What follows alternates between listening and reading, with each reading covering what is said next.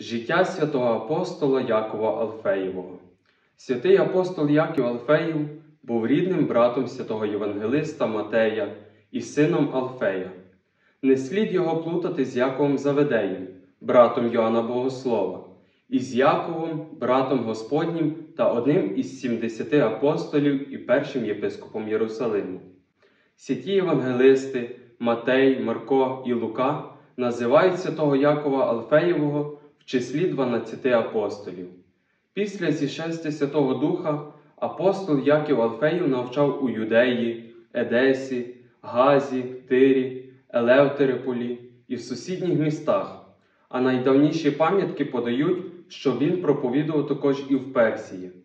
Світло Божої віри святий Яків Алфеїв приніс і до Єгипту, а в приморському місті Острацині на кордоні з Палестиною прийняв мученицьку смерть.